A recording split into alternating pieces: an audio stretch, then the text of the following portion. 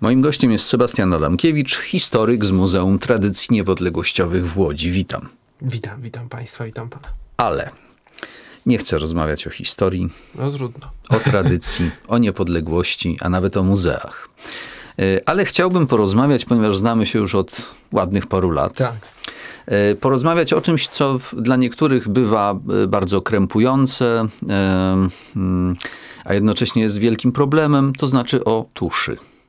E, Spotykamy się i na przestrzeni tych paru lat, e, ostatnio szczególnie, zauważyłem bardzo dużą zmianę, polegającą nie na tym, że jest e, więcej Sebastiana Adamkiewicza, ale dużo, dużo mniej.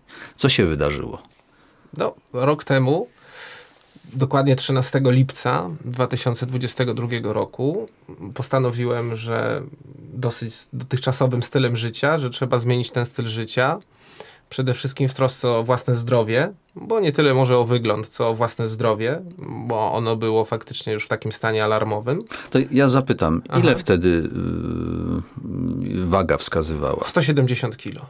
170 kilo. I to Pierwszy- jest już poważny stopień Tak, to jest, otyłości. to jest tak zwany trzeci stopień otyłości, BMI, czyli jeden ze wskaźników, niedoskonały, niedoskonały wskaźnik, bo mający swoje wady, ale powiedzmy dla osób z problemem otyłości taki zupełnie podstawowy, e, wskazywał bodajże 44 jednostki tak, e, tego systemu BMI, także to już była poważna, to już była poważna sprawa. Zasadniczo takie sytuacje najczęściej się operuje. E, Tutaj lekarze zalecają operację bariatryczną, której ja chciałem uniknąć z różnych powodów. Przede wszystkim z powodu strachu przed ingerencją operacyjną. No i postanowiłem, e, postanowiłem zrobić to metodami klasycznymi, czyli zmianą stylu życia. Ale to był taki, ten 13 lipca był moment, coś się wydarzyło tego 13 lipca. Ja miałem nie najlepsze wyniki badań. Mm, Nie najlepsze wyniki badań krwi. E, związane z cholesterolem, z poziomem cukru, z wieloma takimi aspektami, które, które wskazywały na to, że no, istnieje pewne zagrożenie. E, I, I to był impuls. To był faktycznie impuls, przy czym no, też muszę powiedzieć, że ja się do tego momentu przygotowywałem. To też nie jest tak, że, że, że to był wyłącznie impuls. Y, Ja czytałem różne artykuły na temat zdrowego żywienia, na temat y, wykonywania ćwiczeń, e, też duża praca nad głową. Natomiast sam ten moment, w którym ja podjąłem już decyzję, że zmieniam styl życia, to jest ten 13 lipca 2022 roku, gdzie momentalnie zrobiłem pewne rzeczy, o których za chwilkę powiemy i no, a efekt jest jaki jest. Pewnie E- gdybyśmy porównali zdjęcia z 13 lipca, to jest, e, a, a dzisiejsze to jest wyraźna różnica. Ona jest na tyle duża, że są znajomi, którzy mnie na ulicy nie poznają i to nie dlatego, że mnie nie lubią, tylko dlatego, że no, bardzo mocno się zmieniłem od tego momentu. Y, Badania, czyli troszkę postraszyło y, życie. Tak, życie musi moim zdaniem trochę postraszyć. To znaczy, mogę tutaj Państwu oczywiście powiedzieć, że otyłość jest chorobą, która prowadzi do innych chorób y, i y, wielu z Państwa pokiwa głowami powie tak, tak z pewnością jest, ale dopóki się tego nie doświadczy bezpośrednio na swoim organizmie. Ja miałem to szczęście w swoim życiu, że ja ze względu na otyłość nie spotkałem się z, z żadnymi prześladowaniami albo było ich stosunkowo niewiele. No oczywiście były różne nieprzyjemne sytuacje, natomiast y, ja tak naprawdę tej otyłości nie odczuwałem w jakimś takim znaczącym, znaczący sposób. Mm, No i właśnie jakby Ale, doświadczenie y, choroby. Znaczy, y, nie, do, nie, nie odczuwałem ze strony innych ludzi, czy sam y, dla siebie? No bo ja nie uwierzę, że y, osoba ważąca 170 kilo, Tak. y, mająca to BMI 40, nie odczuwa w codziennym życiu swojej otyłości. Czy odczuwa coraz bardziej wraz ze starzeniem się, bo w młodym wieku tego aż tak mocno nie odczuwa. Ja nawet trochę uprawiałem sport, może nie zawodowo, ale y, chodziłem na pielgrzymki. Ja no dobrze, to właśnie. To 13, 13 pielgrzymek za sobą. o tych pielgrzymkach, tak. o tych pielgrzymkach, y, bo y, kiedy człowiek jakby na pielgrzymkach nie da się oszukać. No, no nie da się oszukać. Siebie samego nie da się oszukać, bo trzeba przejść te 40-30 kilometrów, parę godzin e, na nogach. Jeżeli dźwiga się te nadmiarowe kilogramy, to to musi mieć wpływ na, nie wiem, zmęczenie, czy w ogóle nawet na możliwość dojścia. Nie, no były to oczywiście takie pielgrzymki, gdzie pierwsza na przykład moja pielgrzymka, gdzie, gdzie kończyłem z, z dość poważnymi kontuzjami nogi. nóg obydwu. Ale były takie pielgrzymki, które przeszedłem całe i nie, powiem, żebym był jakoś bardziej kontuzjowany niż moi szczuplejsi koledzy. I to zresztą był taki, taki element tego, że ja nie podejmowałem żadnych starań dotyczących e, wcześniejszego odchudzania, no bo jakby cały czas sobie udowadniałem, że daję radę. I to jest zresztą ogromny problem e, ludzi z, z otyłością, z, z, z, tą jednostką, dlatego że to pocieszanie się, że nie jest jeszcze tak źle, jest trwałym elementem i jest jednym z aspektów otyłości. Na przykład pocieszanie się, że przez cały dzień nic nie zjadłem. Pocieszanie się, że oj, przecież ja tak dużo nie jem, bo ja jeszcze nie zjadłem śniadania, a wy już jecie trzeci posiłek. A, te, a, popełnia się tym najgorszy błąd, jaki można zrobić swojemu organizmowi, dlatego że nasz organizm jest inteligentny.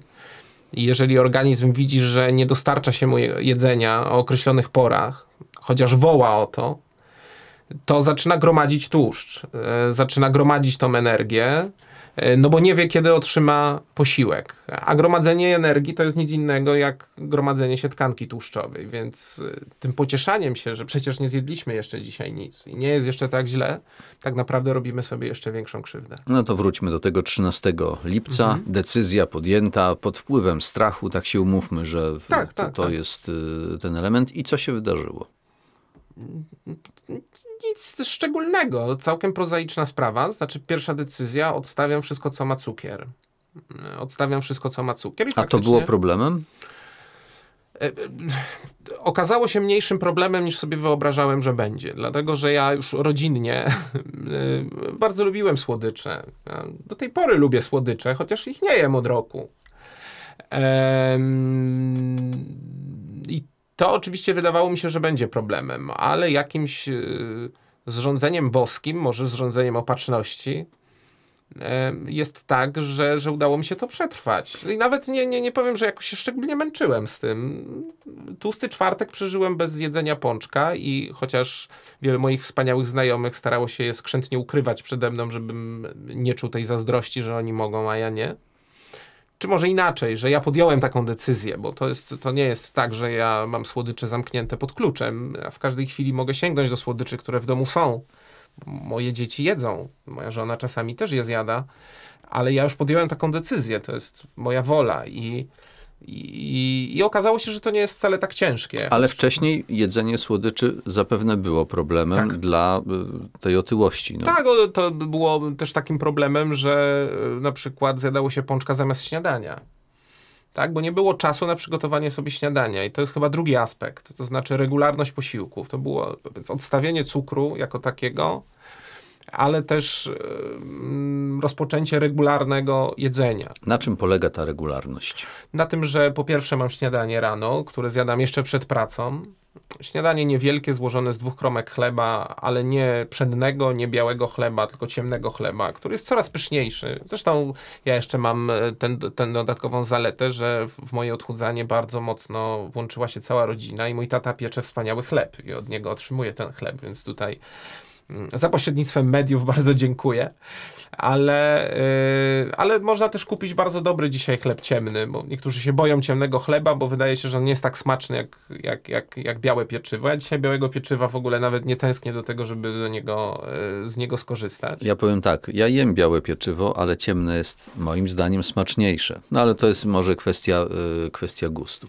Czyli śniadanie. Tak, śniadanie. Później yy, około godziny 10-11 zjadam zjadam sobie jabłko i to jest bardzo ważne, dlatego że jabłko e, dzięki, dzięki temu, że posiada w sobie pewne właściwości, e, bardzo mocno tłumi nasze poczucie łaknienia. Bo ono się pojawia o tej porze. Może się pojawić, tak, zwłaszcza, że to śniadanie nie jest jakieś ogromne. Tak? To jest e, ważne, że one, żeby było różnorodne, żeby tam się pojawiały nie tylko chleba, ale i warzywa, żeby było dużo białka, bo białko nam daje energię. Więc, więc takie śniadanko, później jest faktycznie jabłko i później około pierwszej, drugiej jest albo takie danie obiadowe, najczęściej jak chodzę do pracy, no to, no to to jest jakiś obiad z dnia poprzedniego, e, no albo czasami jem obiad w formie kolacji. Znaczy to, co bym zjadł na kolację, jem na obiad, bo nie zawsze taka, taka jest możliwość. No i później jak wracam do domu, no to oczywiście mam, mam obiad. E, staram się jeść do godziny 18, najpóźniej do godziny 19. E, jak łapie jakieś takie duże łaknienie, to pomagają ziarna słonecznika, które faktycznie potrafią, potrafią, to, potrafią to ładnie wypełnić. No i co? I to jest druga rzecz, czyli ta regularność. I tak, tak wygląda to żywienie. To ja jeszcze do tej regularności, do tego ostatniego posiłku, bo jakby y, dzisiaj pra praktycznie wszyscy dietetycy mówią, że 18, 19 to, to powinien być tak. koniec, y, tak żeby te 2-3 godziny organizm do y, snu był niezasilany. No ale wtedy właśnie często mamy pokusy. Nie? No, nie, ja nie mam już. Po... Przyznam się szczerze, że przy regularnym jedzeniu, jak zje się ten posiłek o godzinie 18, to ja już nie jestem głodny.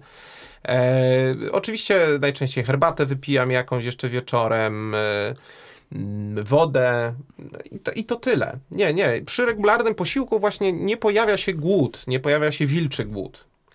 E, chociaż też mam taką ciekawe doświadczenie w ogóle pojawienia się głodu. Jak jest się osobą otyłą, to nie czuje się tak głodu, jak e, w momencie, kiedy się e, tę otyłość traci. Tą otyłość traci. Ten głód ma zupełnie inną jakość. To jest, to jest bardzo ciekawe. Zresztą ja jako osoba otyła miałem w ogóle problem z, z, z poczuciem łaknienia. Ja na przykład zjadałem i nadal byłem głodny, po czym wystarczyła godzina i czułem nasycenie.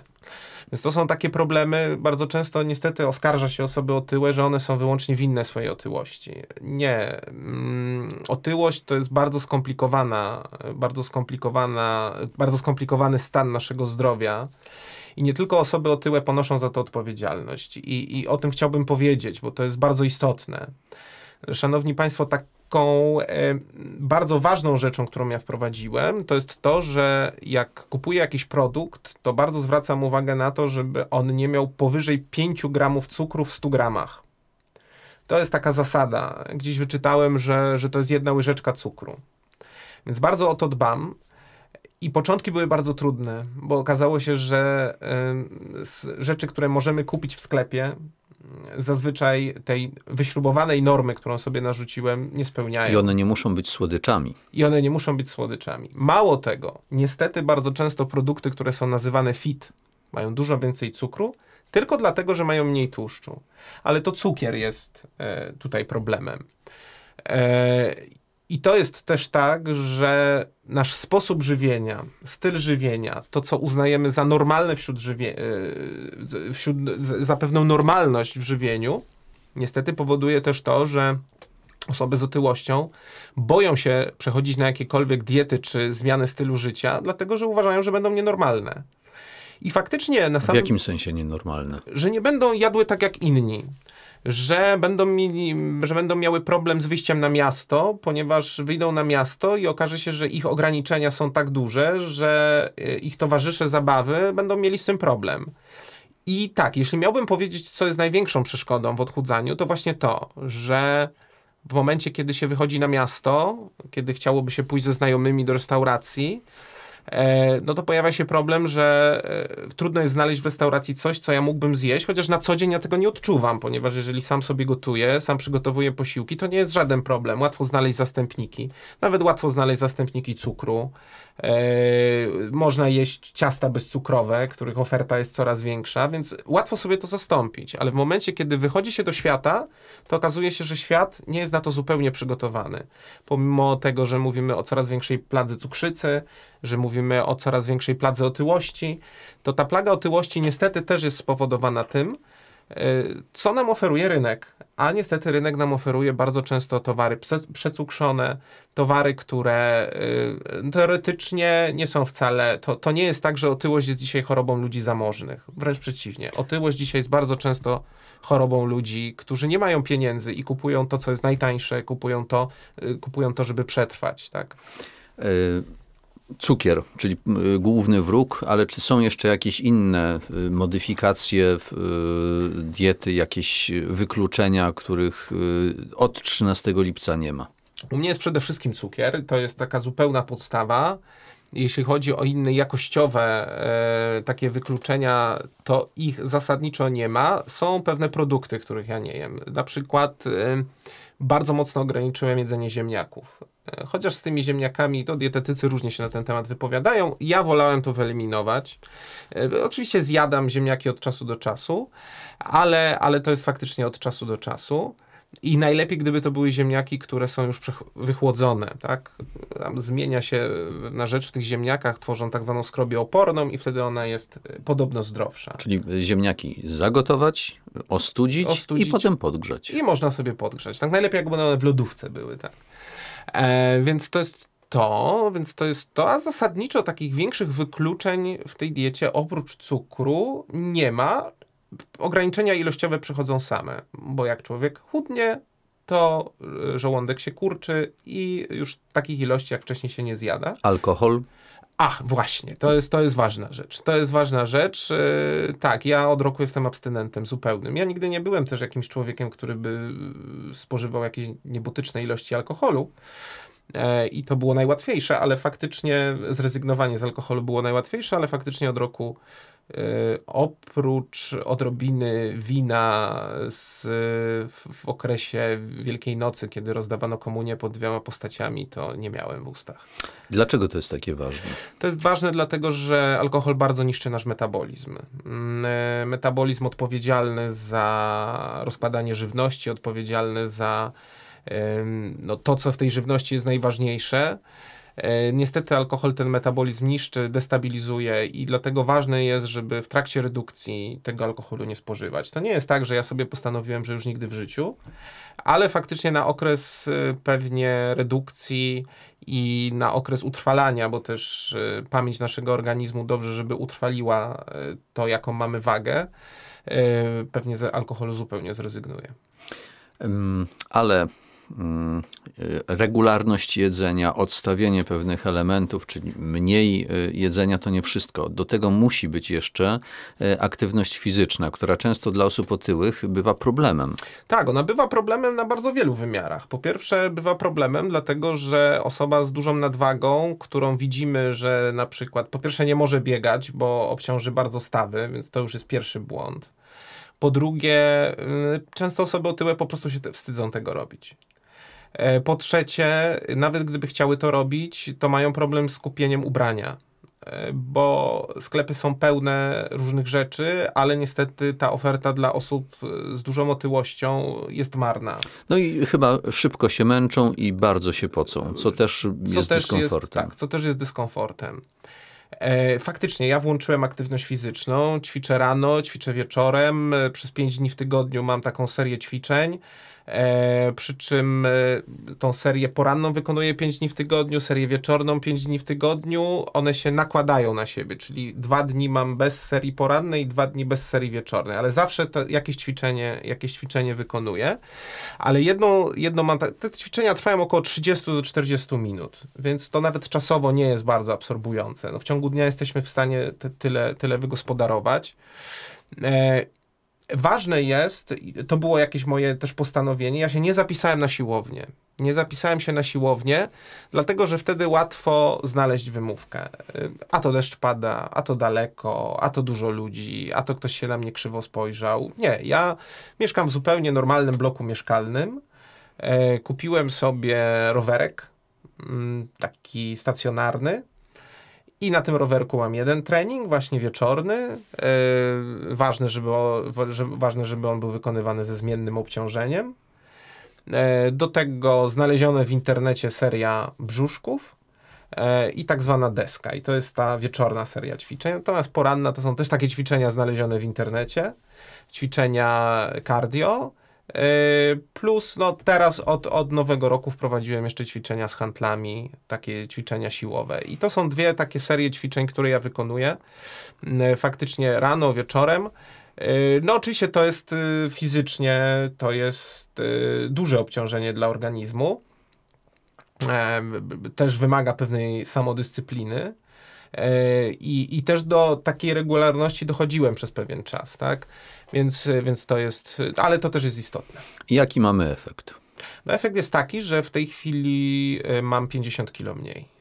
50 kilo mniej, tak. I mo, ponad 40 centymetrów w pasie mniej. E, a wyniki? Bo e... zaczęło się od tych złych wyników no, badań. Są w tej chwili idealne. są w tej chwili idealne. E, nie mam żadnych problemów w tej chwili ani z cukrem, ani z innymi takimi czynnikami dotyczącymi naszego organizmu. A jak wygląda samopoczucie takie, nie, nie dotyczące wyglądu, ale takie wewnętrzne? No, organizm e, w, w, już wszedł w ten rytm takiej aktywności i takiego jednak narzucenia sobie pewnych zasad. Czuje się z tym dobrze?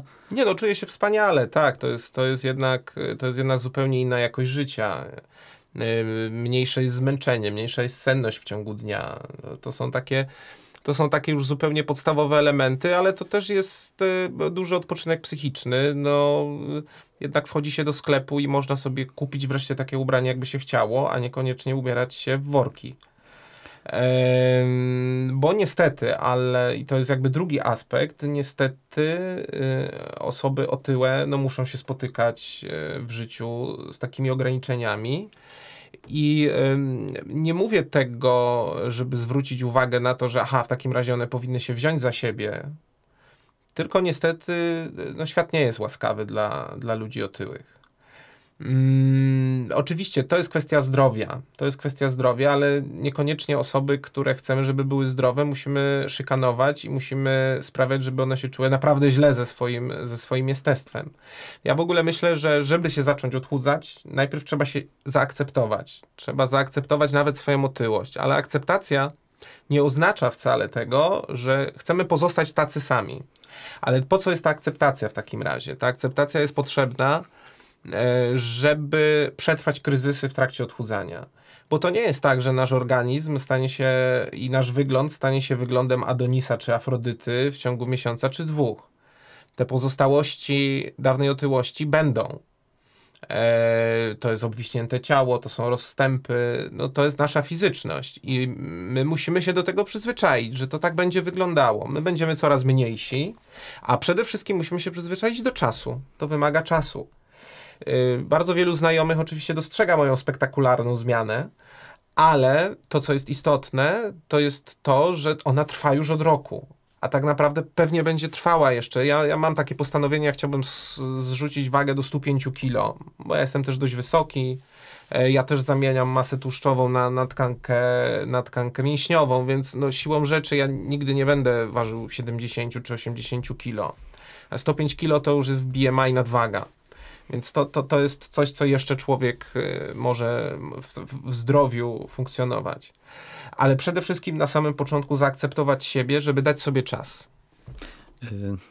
Zapewne widzowie zastanawiają się, dlaczego akurat na tym kanale taki temat, bo to, to ani słowa o, o, Bogu, a kanał jednak ma charakter religijny, ale po pierwsze spotkaliśmy się, żeby nagrać inne elementy do, do cyklu religijne, ale po drugie to wydaje mi się, że to jest szalenie istotne także z, dla ludzi, którzy są wierzący i traktują poważnie to życie, które dostali od Boga, że e, w pewnym momencie trzeba spojrzeć na siebie z zewnątrz i podjąć decyzję, która będzie niewygodna, e, ale która będzie dobra, która będzie na przykład służyła nie tylko temu, że ja egoistycznie będę się czuł lepiej, będę lepiej wyglądał, ale po prostu ja dłużej będę służył swojej rodzinie, zwyczajnie.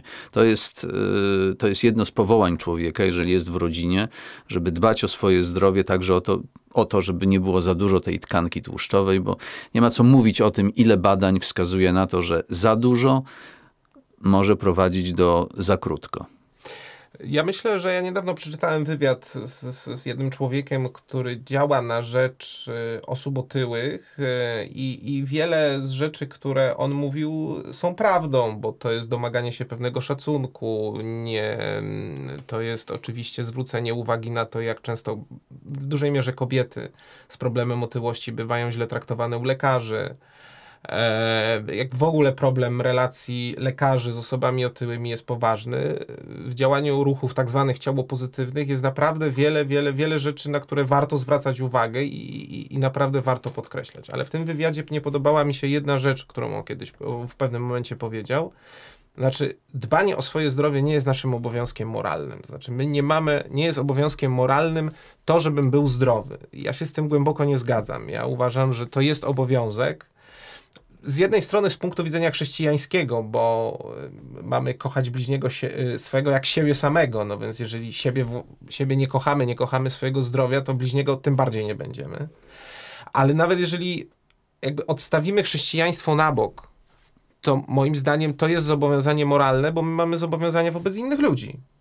Po prostu, najzwyczajniej. Wobec naszych rodziców, wobec naszych znajomych, wobec naszych przyjaciół, e, wobec naszych żon, czy partnerek, czy mężów, e, czy partnerów. Wreszcie mamy zobowiązanie wobec tych ludzi, dla których pracujemy i dla których stanowimy pewną wartość dodaną. E, więc to jest jakieś moralne zobowiązanie dbania o nasze, dbania o nasze zdrowie, dbania o to, żebyśmy, żebyśmy byli zdrowi i mogli im służyć, bo takie jest nasze, takie jest nasze powołanie do życia, niezależnie od tego, jaką, jaką, jakie wartości będziemy wyznawać i czy będziemy wierzyć w Boga, czy nie. Czas y, płynie. Y trzeba iść zjeść y, obiad, żeby było regularnie i systematycznie.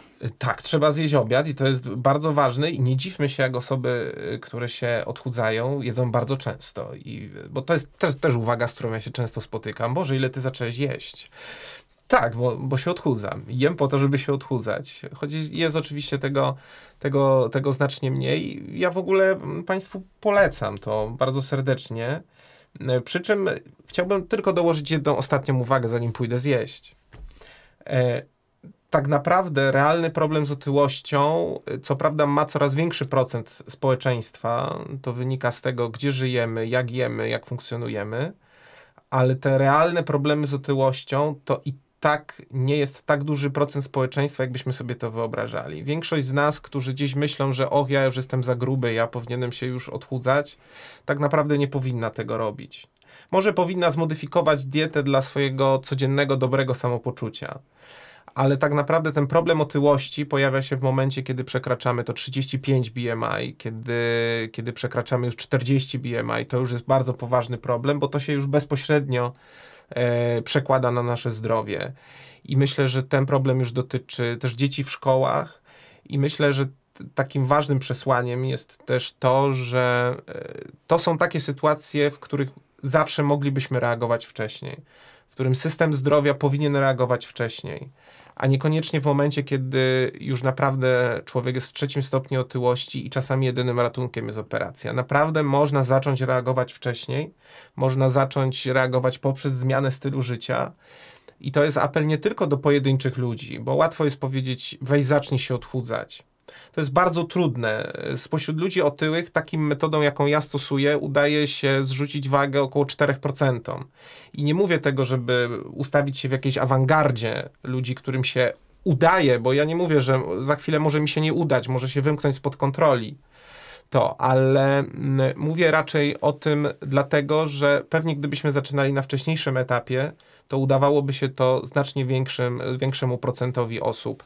A otyłość jest taką chorobą, która wymaga leczenia e, wieloaspektowego, leczenia psychologicznego, e, aktywności fizycznej, e, ale warto ją robić, bo po prostu będziemy mieli zdrowsze i aktywniejsze społeczeństwo, bardziej zadowolone, mniej podatne na depresję, mniej podatne na różnego rodzaju smutki wewnętrzne i po prostu pełniejsze zdrowia i chyba o to nam ostatecznie chodzi.